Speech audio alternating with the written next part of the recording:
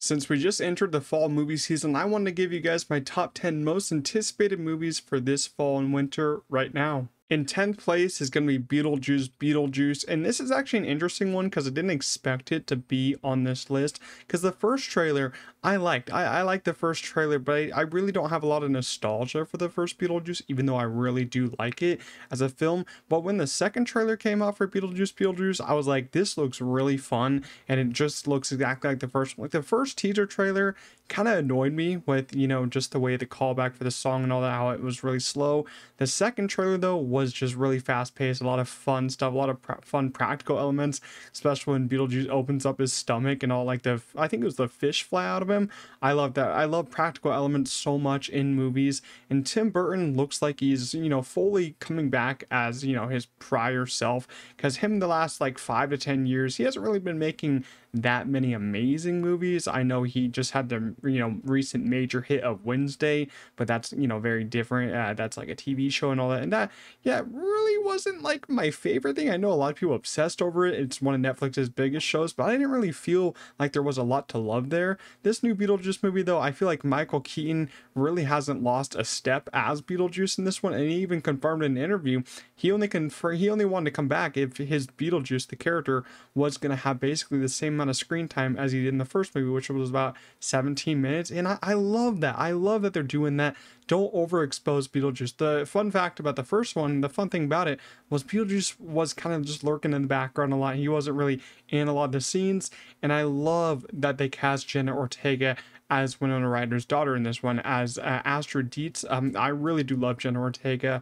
I, I think that she's getting better and better with each role. She's she's getting to a point I think where she might become overexposed, but that's only if she's really in bad movies. I think she's in a lot of great projects so far. Really excited to see Willem Dafoe in this one. I love the way he looks. He has like a, a really interesting uh, makeup going on with him. Like half of his head is exposed, so you see his like brain and all that, and you can tell. You can tell that's like all like kind of fakeish stuff, but that's the that's the you know the beauty of it. That's the beauty of Beetlejuice. A lot of practical elements that just look kind of fake, but that's the point.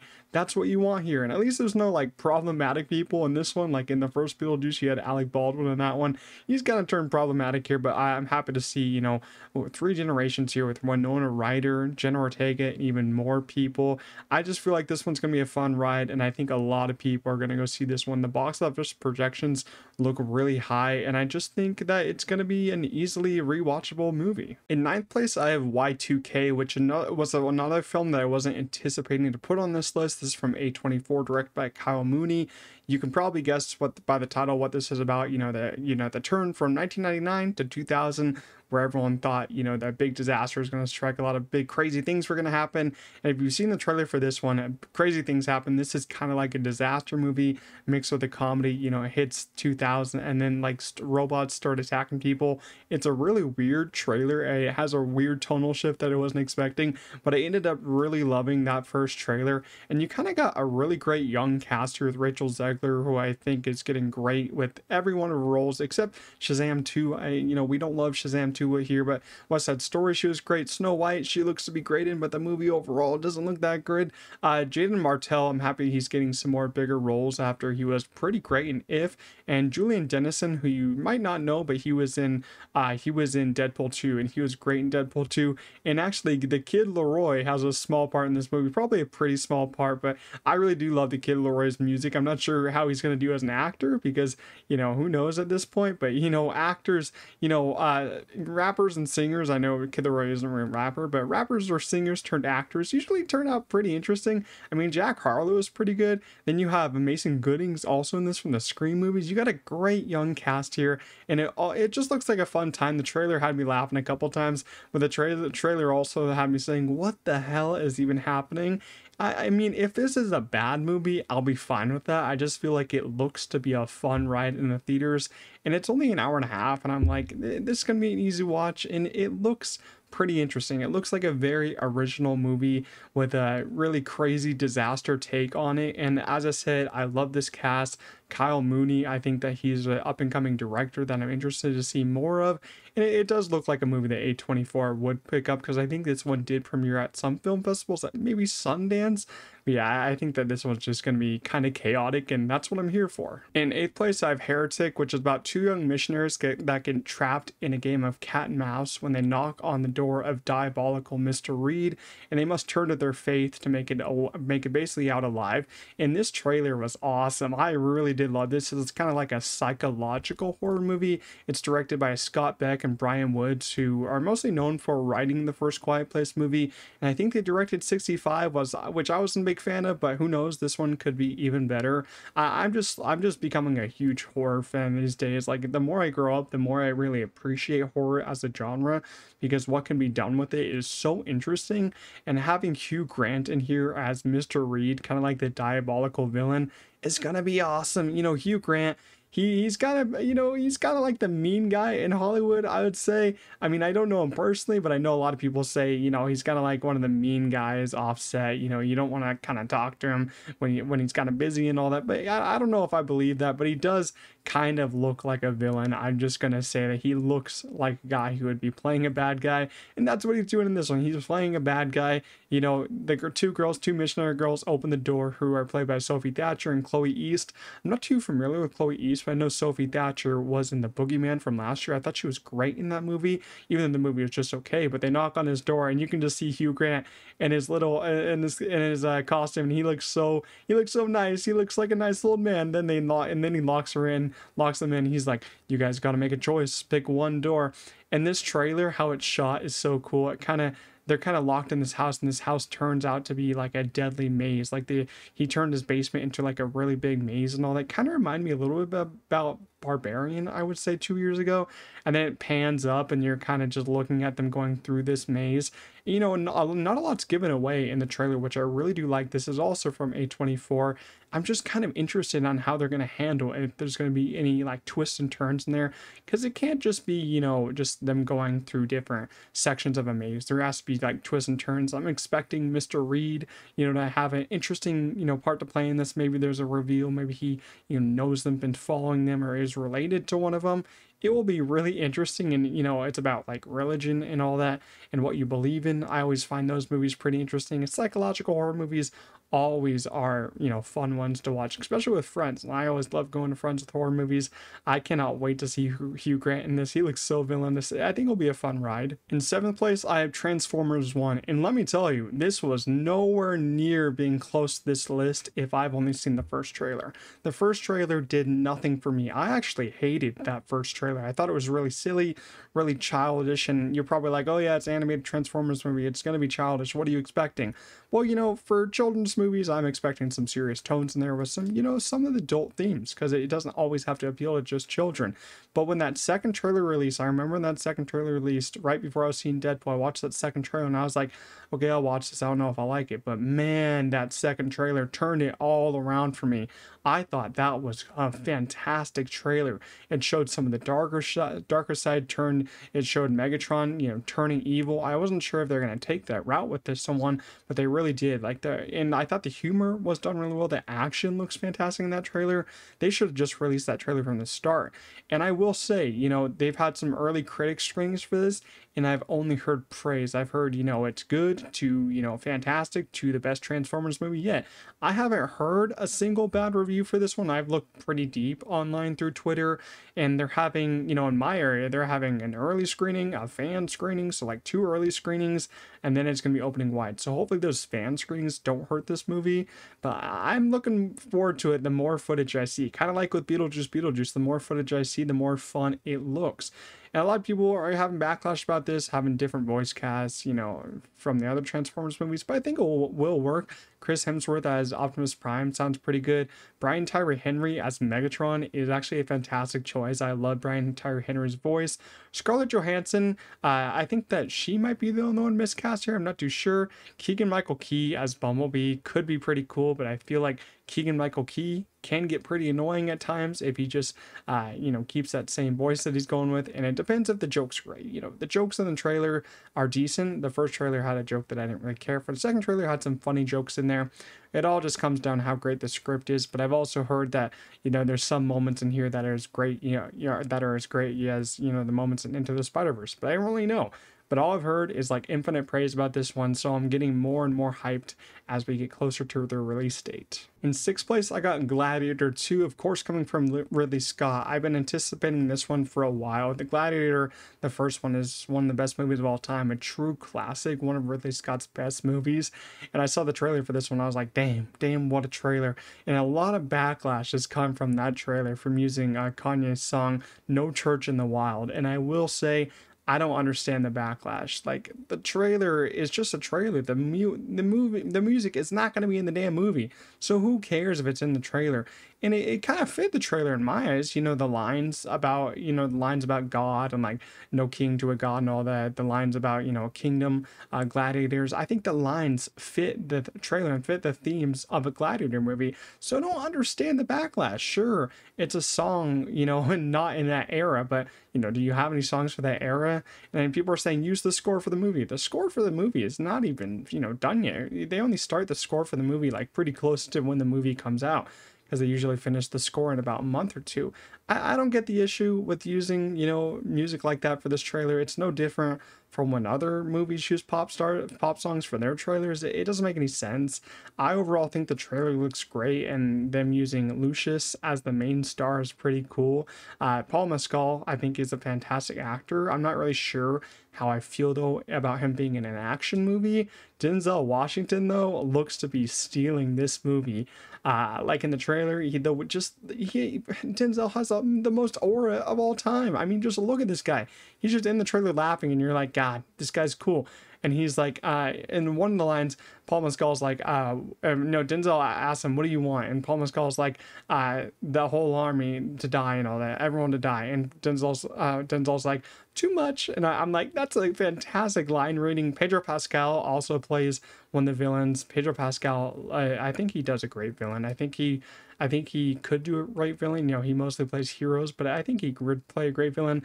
And Joseph Quinn also looks like he's going to be stealing the movie. Joseph Quinn is on a tear recently, man. He is doing great. It's cool to see like the two Fantastic Four actors in this uh, before they're actually going to be in Fantastic Four. Joseph Quinn is playing like a psychotic man in this. And all I've heard from you know the CinemaCon footage is that stuff in the cathedral and you know the the coliseums are going to be great. Like they have an underwater kind of coliseum in this movie. I don't really know what that's about. That sounds awesome, but I will say the budget on this is actually crazy. It's like 250 to 300 million for the budget. So it's probably not going to make its budget of its money back. But what Ridley Scott movies in the past like five to ten years have made their budget back? I just feel like this is going to be one of the best movies of the year. Maybe technically, uh, and story wise, I'm always really um, I'm really transcended by you know Roman Roman stuff, Roman Empire stuff, and this gladiator stuff and then bringing in Lucius is really cool. And Lucilla is coming back, Connie Nielsen. I think that's going to be awesome to see, you know, that love happen. And I'm just, I'm just interested to see what the second trailer is going to be after all the backlash to the first trailer. But I mean, it gave them, it gave them more, you know, hype around the movie. I guess. I mean, bad hype is good hype, you could say. But I think that this one looks great from a costume perspective, a production design perspective, and a you know a director perspective. I think Ridley Scott has a hit on his hands. In fifth place, I have Saturday Night, which is of course about the first broadcast of Saturday Night Live on October 11th, 1975. And playing Lorne Michaels is actually Gabriel LaBelle, who you might know from The Fabelmans. And if you've seen it from this year's Snack Shack, I think he's becoming one of the best you know young actors working today. I think The Fabelmans he was terrific in that movie Snack Shack. He was really funny. I think he's becoming a nice young star. And just he, you know, the group of young comedians in this kind of story is going to be awesome to see how they're cast in here. And I will say the cast is great. You have Ella Hunt in here, who she was in Horizon from earlier this year. I thought that she stood up very well. Finn Wolfhard's in this movie, Nicholas Braun, Andrew Barth Feldman, Rachel Sennott, uh, Kaia Gerber's also in this movie. You have an amazing young cast here. Also, Cooper Hoffman. This is another one just like Y2K that has a great young cast, great, you know, up and coming stars that are going to get to prove themselves in many ways, many ways here. Uh, Jason Reitman is the director here. He previously directed uh, Ghostbusters Afterlife, which I, I was a big fan of Ghostbusters Afterlife. It made me love Ghostbusters, and then Ghostbusters Frozen Empire made me not love Ghostbusters anymore. I wish he would have done that, but I'm I'm interested to see him go for like an Oscar movie right here. We'll see how he does with that. But this first trailer really sold me and you know it's just it's just kind of like the tension in this trailer looks great and the way it's shot. I'm not sure if it's going to be like one of those movies where you know they're going to be like an hour and a half till showtime and that's going to be the runtime and like it's going to be a perfect you know time match on that because i know some movies do that and i don't know if this is going to do that. All i know is that this is probably going to be a pretty anxiety filled movie because you know back in the day you know, them starting out Saturday Night Live was probably pretty stressful because that was like when the show was at its peak. Right now in Saturday Night Live, it is not that good. You know, it's only good when Ryan Gosling hosts, in my opinion, because that one Ryan Gosling episode from earlier this year was like the best episode that I've seen probably in like the last five years or so. Like Saturday Night Live needs needs some better cast members. Let's just say that. And the cast members that they did have were fantastic, but a lot of them are problematic now in my eyes. But I think that this one looks great. Uh, it looks very fast paced, which for a comedy like this, it helps a lot to have your comedy feel fast paced. As I said, Gabriel LaBelle looks great. The trailer is really funny, has some great costumes, great set design. I remember seeing the first uh, photos for this one come out, and I was like, this looks interesting. I wonder if they'll I wonder if they'll nail it. And it looks like they might. And it's coming out in October. A lot of great movies coming out in October. I think that this one is going to be very anxiety inducing, but very funny. In fourth place, I have We Live in a Time, which is a new romance kind of comedy movie with uh, Florence Pugh and Andrew Garfield. You heard that right. Florence Pugh and Andrew Garfield are gonna be in a cast together. That is a you know that is a great pairing right there, a great romantic pairing. And if you've seen the trailer for this one, it will it will just already make you emotional. Just that trailer, you know, it's about these two people that just have a chance encounter. I think if I remember correctly, Florence Pugh hits Andrew uh, Andrew Garfield's character with uh, her car, so that's that's a great encounter. That's a great first love story right there and then they embark on their life. This this movie is basically them, you know, going from that chance encounter all the way probably to the end of their life, but you know, stretching throughout, you know, years and years of their life because their kid is in the trailer, uh, and then in the trailer you see Florence Pugh's character get cancer and all that, you know, it gets very emotional. They're trying to live their dreams. They're trying to figure out their dreams. It's probably going to be even more emotional while watching the movie. And I already can tell that uh, Florence and Andrew have some great chemistry going on here. I, I know what I know what they're trying to do here, though. They're gonna get you to pull on your heartstrings a lot in this movie. I mean, you know, it looks like uh, Florence Pugh's character is going to die, and I feel like that's just an easy guess you know, I feel like they're gonna pull they're gonna pull a different route here. I think they're gonna kill Andrew Garfield's character in the end. Like I feel like uh, Florence Pugh's character has cancer, and I feel like she'll survive that. And then Andrew Garfield's character is just gonna die suddenly. I think I think that's gonna how it's gonna go. I think that's my guess. That's usually how like uh, romance movies do it to make you really sad, make you cry at the end. I feel like I feel like they're gonna succeed here, especially when you have two, you know, very good actors in here. Andrew Garfield, I mean, he doesn't get I, I mean, I guess he does get a lot of praise, but especially for uh, his last couple movies that he's done, I feel like he's just, you know, been, you know, killing it, killing it, and killing it every single time, uh, especially in Tick Tick Boom, which I, I, I actually think he should have won the Oscar for that instead of Will Smith. Florence Pugh also been just at the top for a game, especially, you know, in, in Dune Part 2, she had limited screen time, but I thought she was fantastic there. I, I'm ready for this movie to just rip me to shreds and make me emotionally not okay. In third place, I have Nosferatu, directed by Robert Eggers. If you don't know the story about this one, it's kind of like a remake, and it follows a vampire who basically haunts a woman in the 19th century Germany. Surprisingly, there's no like poster out for this one. I was looking for a poster, and they don't have one out but they have an old trailer out. I remember I, I saw the bike riders like early on an early screening and I really enjoyed it, but I was like, I'm not seeing that again. And then they announced that the Nosferatu trailer is going to be showing exclusively in front of the bike riders. So I bought a ticket for the bike riders just to watch the trailer. After I saw this trailer, I walked out. I, I wasn't really bothered to see the bike riders again, but I have Regal Unlimited, so it didn't really cost me anything. But man, seeing that first trailer in the theaters, it's different than watching a trailer for the first time at home, I'll tell you that. It, it looks great. This gothic tale that Robert Eggers is showing here, and just the set design, the cinematography, oh, the lighting.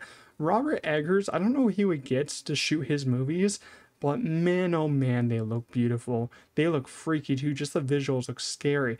And I will say that Robert, you know, his movies are a little dark. I wouldn't watch them in the daytime. That's like the only thing I'd say. But whoever shoots his movie, I got to give them a big round of applause because the lighting's always terrific, the cinematography, uh, and just everything about it. The production design and costume design of Robert Eggers' films are just amazing. I haven't seen all of his movies. I haven't seen The Lighthouse. I'm pretty sure that's the only one I haven't seen, which I guess gets the most praise. I've seen The Witch and and The Northman. I, I enjoy The Witch. I don't really love it as much as other people, but I'm excited to rewatch it. And The Northman, I thought was great. Uh, it kind of confused me a little bit with how you know fa- fantastical it got at times, but I really enjoyed you know the style of that one. And this one has a great cast. You know, you got Willem Dafoe coming back for another Eggers movie. I know Willem loves working with him. Bill Skarsgård is gonna play Count Orlok. I they haven't showed him in the trailer. The, you see a little shot of him. Bill Skarsgård is great at playing these like monster creatures. Emma Corrin's in this. Uh, Ralph Ineson, who I absolutely love. I'm, I'm loving him more and more. Aaron Taylor Johnson, the the only the one and only Kraven is going to be in this, and Lily Rose Depp and Nicholas Hoult. You know, Lily Rose Depp got a lot of you know uh, kind of shame put on her from being in The Idol, which wasn't a great show, and I'm not sure how great of an actress she is because I really haven't seen her in anything. Uh, I mean, she looks great in the trailer, though. I really do love her performance in the trailer, but we'll have to see how great she is in this. But just a fantastic, fantastic casting right here. Like, this ensemble is terrific. Robert Eggers, he really does bring something new to each movie that he does, even if it's a borrowed story of some sorts.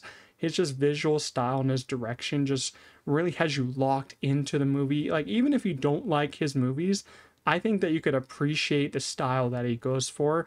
And I just feel like this is going to be a great movie. And it's also releasing on Christmas Day. Like, why not watch this on Christmas Day? It's a horror movie releasing releasing on Christmas. What's better than that?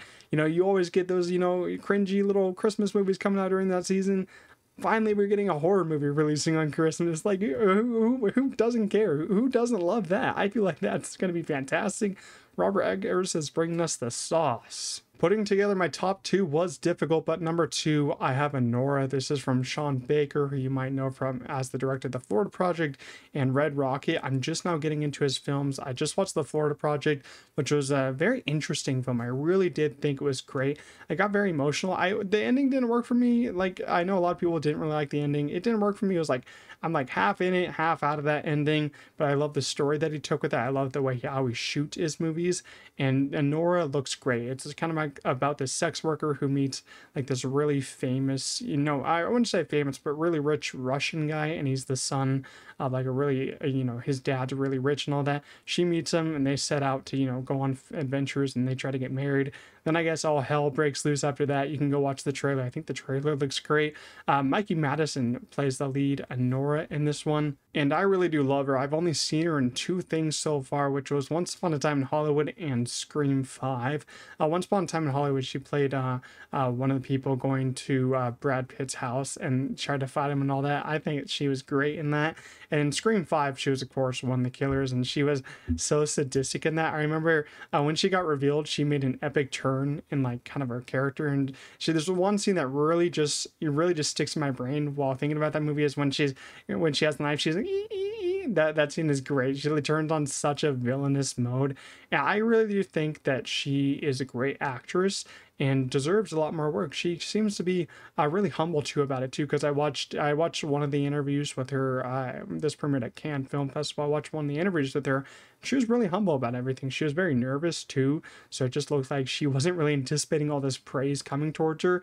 Because this movie, I think, won I won the Palme d'Or. I think that's what the award is called at the uh, Cannes Film Festival. It got it got a lot of praise at the Cannes Film Festival. I'll say that like a lot of best picture rumors, a lot of best actress rumors.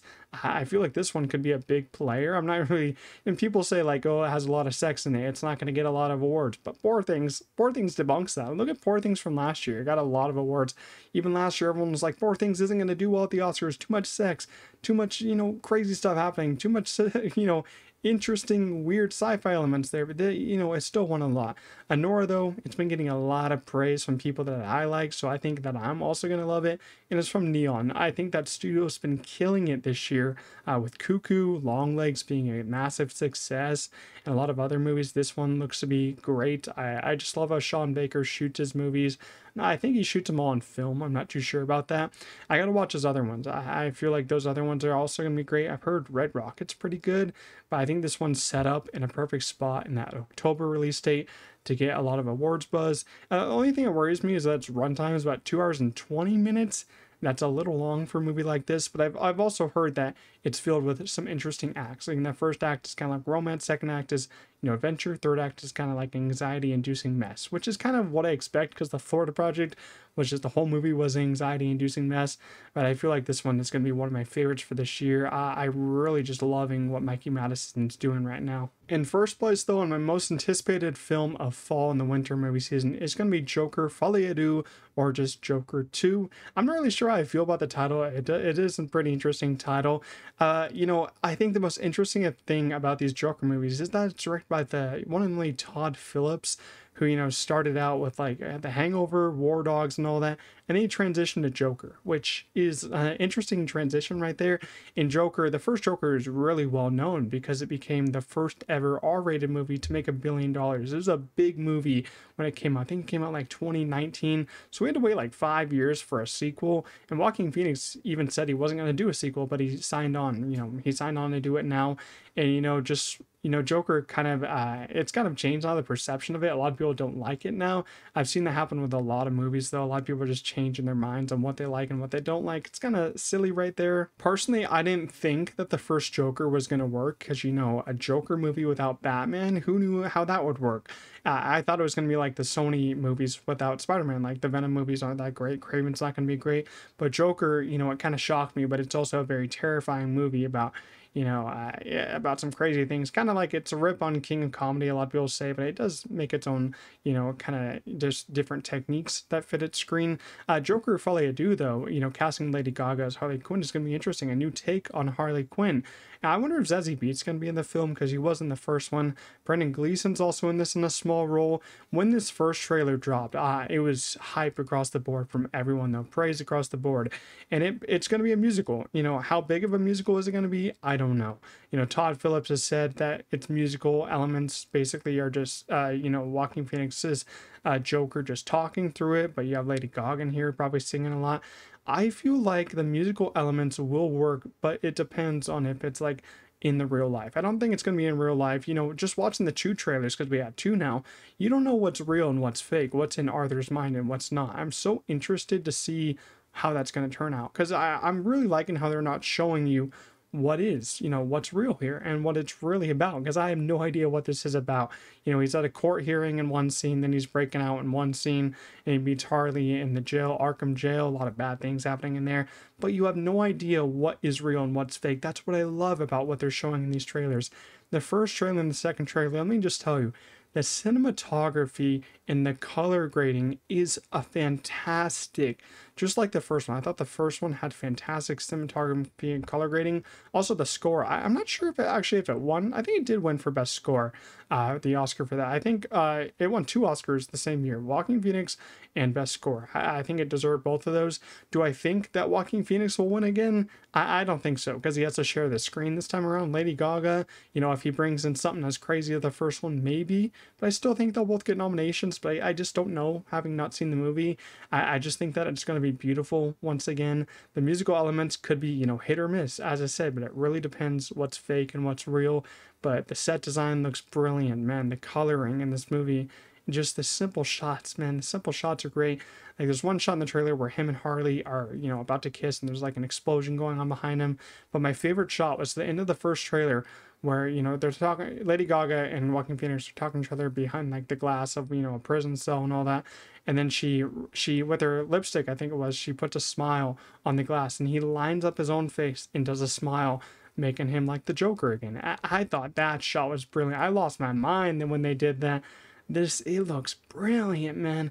And as i said this is another one. A lot of them on my list are like if i think it's a bad movie I'll still love how it looks because I'm not getting tired of these trailers. Some trailers I see like 10 times because I go to the movie theater a lot and I'm like, I'm tired of this crap.